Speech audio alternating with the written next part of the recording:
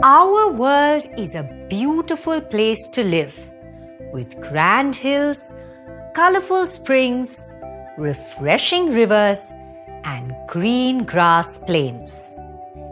And surrounded by all this beauty, we have built ourselves comfortable homes.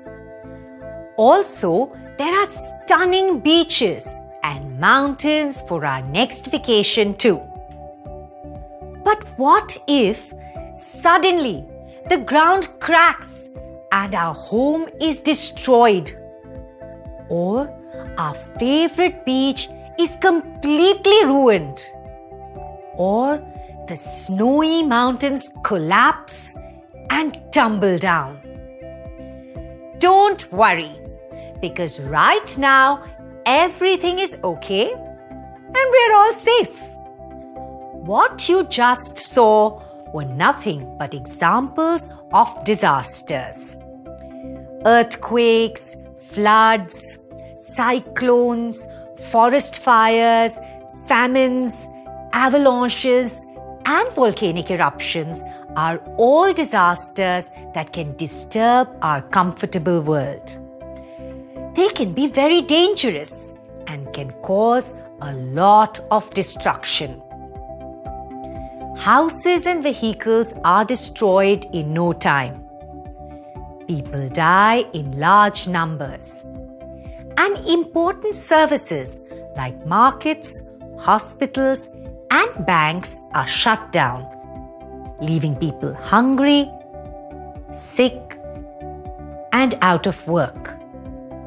It then takes days, months, and years to rebuild everything.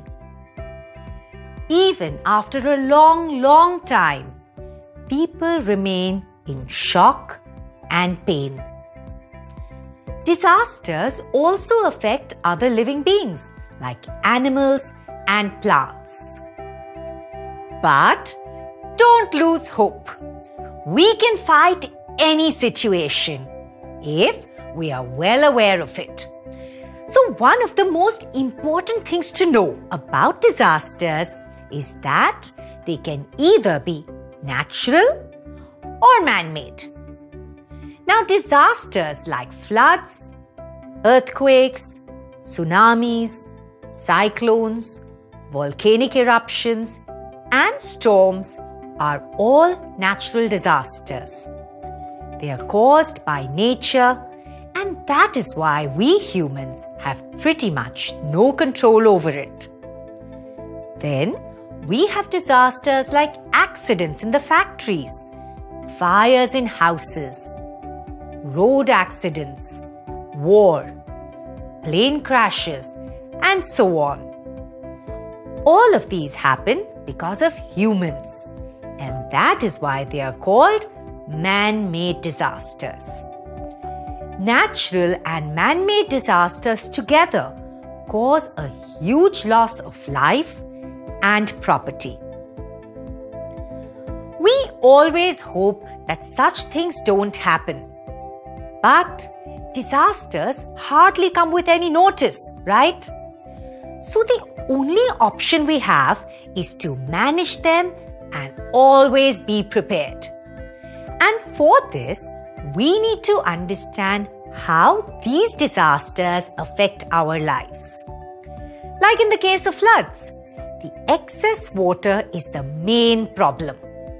While in the case of droughts, the challenge is to deal with the shortage of water, which are actually totally opposite to each other, aren't they? Also, we need to understand how these disasters occur. Now, this is important because the cause of an earthquake is completely different from, say, a cyclone. Well, whatever the reasons may be, the fact is that disasters can be very dangerous and can happen at any time. So, we must be alert and be prepared for them. Just the way that we are careful while crossing a road or driving a car. And believe me, it isn't that difficult. All we have to do is be ready and aware. If you like this video and want to watch many many more amazing videos like these, like and subscribe to our channel now.